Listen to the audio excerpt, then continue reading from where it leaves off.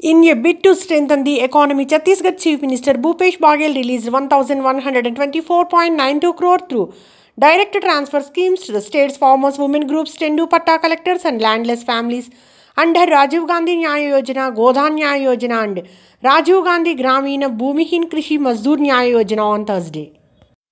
In order to make healthcare accessible for all, the CM also launched 60 mobile medical unit ambulances of municipal corporation and municipal panchayat to provide better health services to women and girls of the state at their doorstep under Chief Minister Urban Slum Health Scheme. Chief Minister Bhupesh Baghel said our government's main focus is to create employment opportunities besides putting the money directly into the pockets of people.